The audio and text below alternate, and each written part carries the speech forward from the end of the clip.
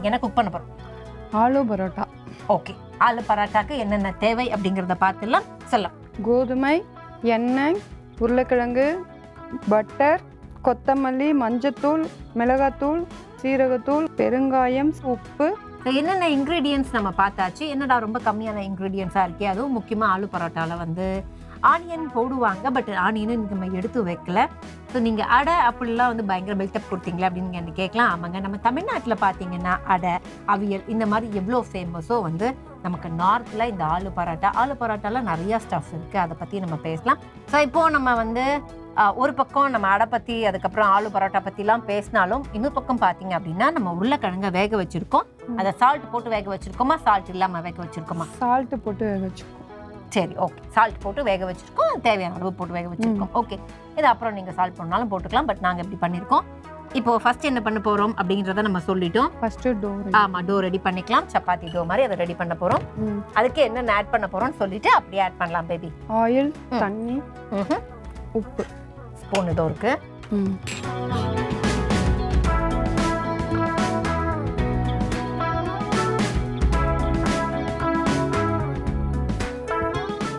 ஒரு மூணு ஸ்பூன் எண்ணெய்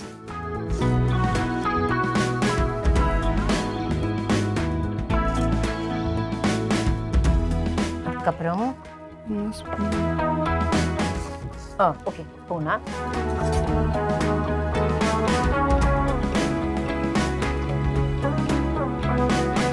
உப்பு தேவையான அளவு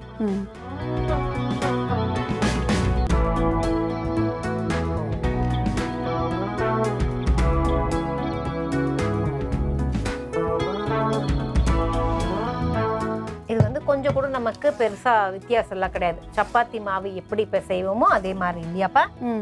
ஓகே. ஸோ சப்பாத்தி மாவை பிசைகிற மாதிரி முதல்ல அதை நம்ம ரெடி பண்ணி வச்சுடுவோம். இது மாவு ஏதாவது ஊற வைக்கணுமா? ஆ கொஞ்ச நேரம். ஒரு. ஃபைவ் மினிட்ஸ் ஓகே ஸோ மாவு வந்து ஃபைவ் மினிட்ஸ் அப்படின்னு சொல்லுவாங்க. சில பேர் பார்த்தீங்க அப்படின்னா அந்த மாவில் எண்ணெயும் போட்டு கொஞ்சம் நல்லா அந்த எண்ணெயோட மாய்ஸ்ட் கீழே இறங்குற அளவுக்கு வந்து அப்படியே விட்டுருவாங்க. அதுக்கப்புறம் பார்த்தீங்க அப்படின்னா ஒரு half an hour one hour இது மாதிரி உங்களுக்கு எப்போ தேவையோ அப்போ. ஏன்னா அந்த மாவு கெட்டு போக போகிறது கிடையாது. அதுக்கப்புறம் நீங்கள் வந்து சப்பாத்தியோ இல்லை பரோட்டாவோ என்ன வேணால் நீங்கள் திரட்டினீங்க அப்படின்னா அது ரொம்ப சாஃப்டாக வரும் அப்படின்னு சொல்லுவாங்க. ஸோ அதை நீங்கள் அப்படியே ஃபாலோ பண்ணலாம். இப்போ நம்ம முதல்ல மாவை வந்து ரெடி பண்ணிடலாம்.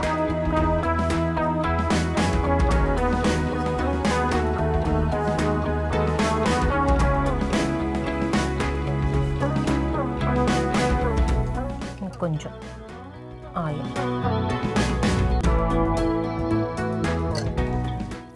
ஸோ இப்போ நமக்கு டோ ஒரு வழியா கிடைச்சிருச்சுன்னு நினைக்கிறேன். அண்ட் தங்கம் ம். கரெக்டா வந்துருச்சா? நம்ம நினைச்ச. பதத்துக்கு வந்துருச்சா? ஓகே ஸோ இந்த டோ ரெடி ஓகே ஊற வச்சிருவோம் இந்த பக்கம். இப்போ இந்த டோல இப்ப நமக்கு வேலை கிடையாது. இதை நம்ம வந்து இப்படி வச்சுக்க போறோம். அடுத்து என்ன பண்ண போறோம்?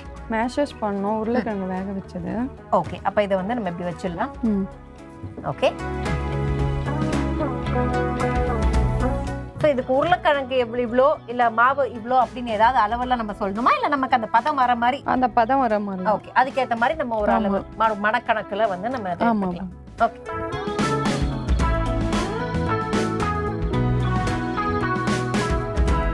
இப்போ எல்லா உருளைக்கிழங்கையும் இப்போ மசிக்க போறோம். முதல்ல மசிச்சிடலாம். கையிலே மசிச்சிடலாம்.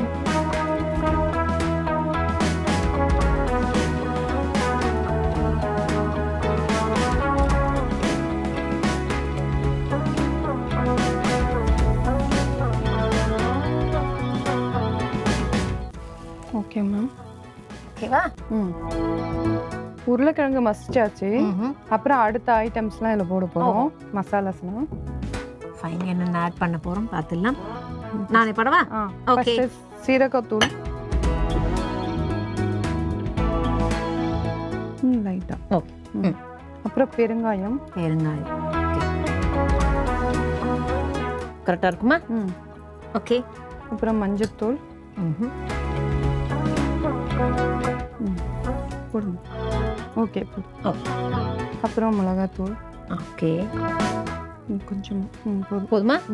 ஓகே இதுக்கப்புறம் நம்ம என்ன பண்ணுறோம்? கொத்தமல்லி போட போகிறோம் ஓகே எல்லாமே போட்டுடலாமா? கொத்தமல்லி? கொஞ்சமாக போதும். இன்னும் கொஞ்சம் போட்டுமா? ஓகே ஓகே இப்போ இதை மேஷ் பண்ணுவோம்.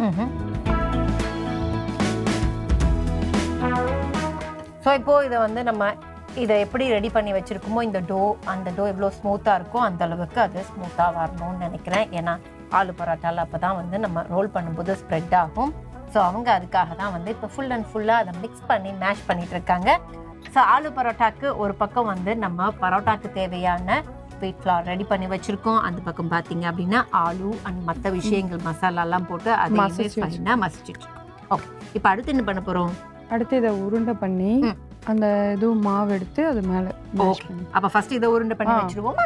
ஓகே பிளேட் அங்கேயே இருக்கு. ஓகே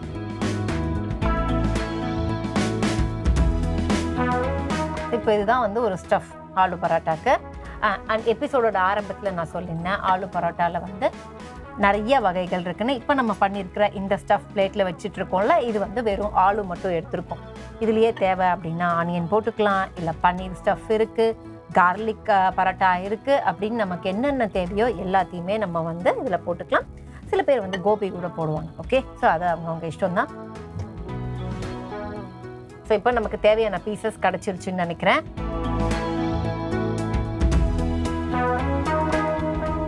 அப்படியே வந்து இதையும் நம்ம வந்து என்ன. பண்ணுறோம் அப்படிங்கிறத பார்த்துருவோம். இந்த டோவையுமே நம்ம எடுத்து இதே மாதிரி ரவுண்ட் பண்ணி வைக்க போகிறோமா இல்லை அப்படியே ரோல் பண்ண போகிறோமா ஓகேவா?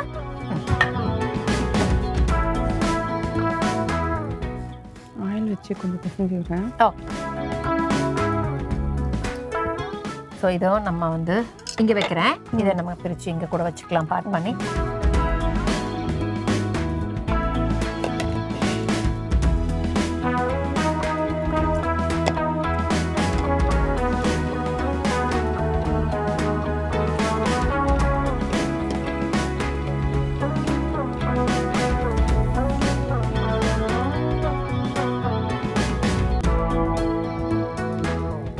இப்போது நம்ம வந்து ஒவ்வொரு சப்பாத்தி இல்லை பரோட்டாக்கு என்னென்ன தேவையோ அப்படி நம்ம பிரித்து வைப்போம்ல. அது மாதிரி முதல்ல பிரித்து மாவை வச்சுக்கலாம்.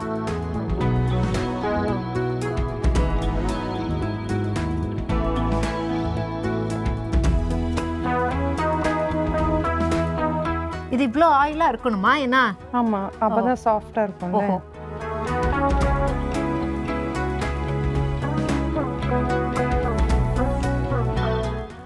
ஓகே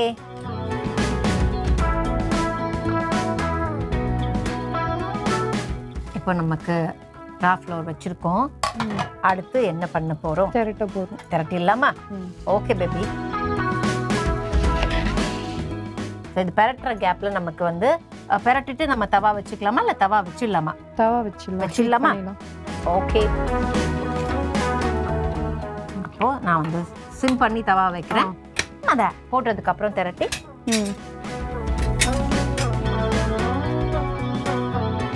ஏ? ம். திரட்டிடலாமா?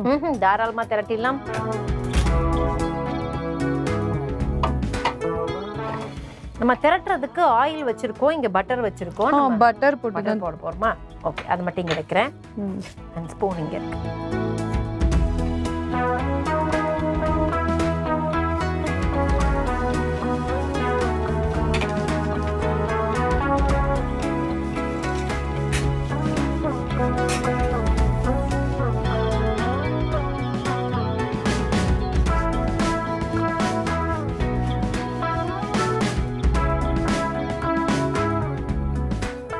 ஃபைன் இப்போ நம்ம வந்து ஃபஸ்ட்டு அதை சப்பாத்தி மாதிரி கொஞ்சம் லைட்டாக உருட்டிட்டு அதுக்கப்புறம் நம்ம திரட்டினதில் ஸ்டஃப் பண்ணுறோம் ஓகே இப்போ இதை இப்படியும் பண்ணலாம்.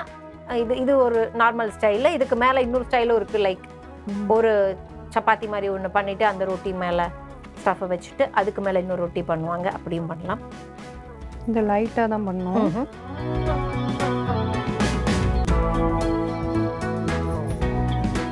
அந்த ஸ்டஃப் வெளியில் வராமல் நம்ம பண்ணணும்ல? ஓகே சரி இப்போ நம்ம வந்து ஒரு வழியா ரோல் பண்ணிட்டோம். இன்னும் ரோல் பண்ண போறோமா? இல்ல அவ்வளோதான் மேம் ஓகே இப்போ என்ன பண்ண போறோம்னா இது பட்டர் ஓகே கொஞ்சம் லைட்டா பட்டரா ஓகே இன்னும் கொஞ்சம் போடுங்க. இது இருமா.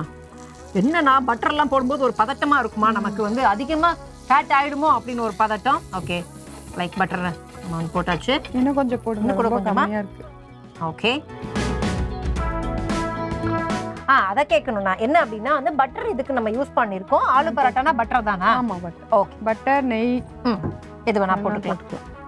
சம்டைம்ஸ் ஓகே பட்டர் நெய் வேணாம்னா ஆயிலும் யூஸ் பண்ணிக்கலாம். ஆனா பட்டர் தான் நல்லா இருக்கும். பட்டர் தான். ஓகே ஃபைன் இப்போ நம்ம வந்து ரொம்ப சிம்ல தான் வச்சிருக்கோம். தான் இருக்கட்டுமா? இந்தாங்க தோசை கரண்டியும் உங்ககிட்ட கொடுத்துட்டேன். ஸோ இதை நம்ம வந்து ஒரு பக்கம் போட்டு நம்ம வந்து அதை நல்லா ஃப்ரை பண்ணி எடுக்க போறோம். அண்ட் இன்னொரு பீஸும் ரெடி பண்ண போறோம். ஸோ ஆலு பரோட்டா பொறுத்த வரைக்கும் ஒரு பீஸ் ரெடி ஆயிட்டு இருக்கு இன்னொரு. பீஸ் ரெடி ஆகிற அந்த வாசனை வந்துட்டே இருக்கு. போதுமா? எடுத்துடலாமா? எடுத்துடலாம். ஓகே ஓகே எடுத்துட்டு வச்சிடலாம். தாராளமாக. நான் தேங்க்யூ சாப்பிட்டு பார்த்துட்டு எப்படி இருக்கு சொல்லுங்க. கண்டிப்பா சொல்றேன். ஆனா அதுக்கு முன்னாடி நம்ம சாப்பிட்றதுக்கு முன்னாடி ரீகேப் இருக்கு. அதை நம்ம சொல்லிடணும். ஸோ சொல்லலாமா? ம். ஸோ ஃபஸ்ட்டு என்ன பண்ணோம் அப்படின்னு பார்த்தீங்கன்னா நம்ம சப்பாத்திக்கெலாம் ஒரு டோ ரெடி பண்ணுவோம்ல அது மாதிரி எண்ணெய் தேவையான அளவுக்கு இல்லை கொஞ்சம் அதிகமாகவே போட்டுக்கிட்டோம். அண்ட் உப்பு போட்டு அந்த டோவை ரெடி பண்ணி அதை ஊறுறதுக்காக அந்த சைட் வச்சுட்டோம்.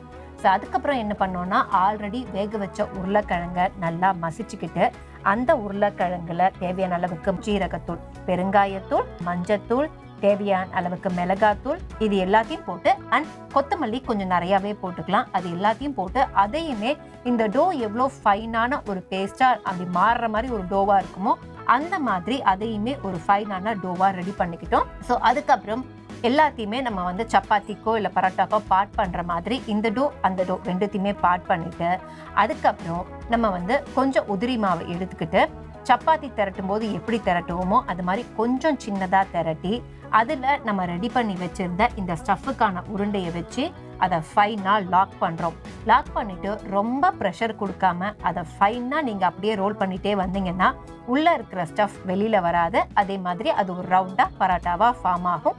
அதுக்கப்புறம் தவாவை ஹீட் பண்ணி தவாவில் தேவையான அளவுக்கு பட்டர் போட்டு அதுக்கப்புறம் நம்ம ஆல்ரெடி ரெடி பண்ணி வச்சுருந்த இந்த ஆலு பரோட்டாவை ப்ளேஸ் பண்ணுறோம் ப்ளேஸ் பண்ணி ரெண்டு பக்கமும் நம்ம ரோஸ்ட் பண்ணி எடுத்தோம் அப்படின்னா இந்த ஆலு பரோட்டா ஃபைனாக ரெடி ஆகிடும் அதுக்கு தயிர் அண்ட் பிக்கிள் ரெடியாக இருக்குது